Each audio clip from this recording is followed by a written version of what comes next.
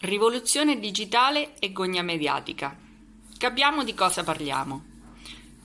È una rivoluzione internet? Sì, è una rivoluzione.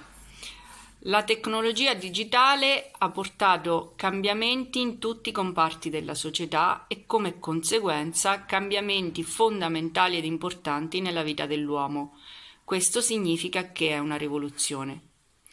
In passato sono state rivoluzioni quella francese, che ha cambiato il rapporto dell'uomo con le regole e con il diritto, ma anche la rivoluzione industriale che ha cambiato del tutto il modo di produrre e quindi ha stravolto la vita dell'uomo.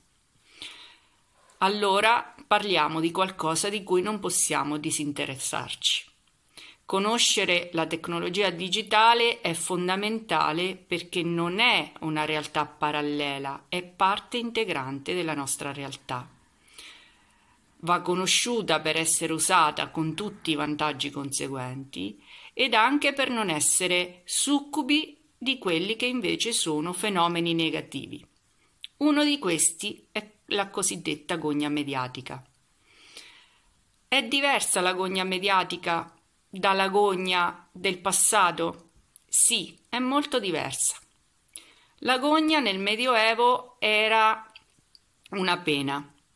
Arrivava irrogata da coloro che amministravano giustizia ed era quindi eh, formulata sulla base di valori condivisi dalla comunità.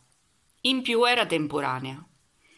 Era l'esposizione del condannato al pubblico ludibrio, è vero, come oggi, ma c'era dietro appunto un sistema di valori.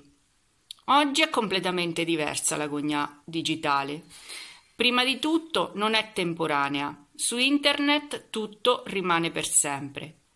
E poi, cosa molto più importante, la gogna mediatica non è eh, la conclusione di un procedimento di giustizia né tantomeno il frutto di valori condivisi. Spesso è solo lo sfogo arbitrario e astioso di qualcuno che usa la tecnologia per il proprio sentire soggettivo contro qualcun altro. Non ha niente a che fare con uno scopo sociale e con il bene comune.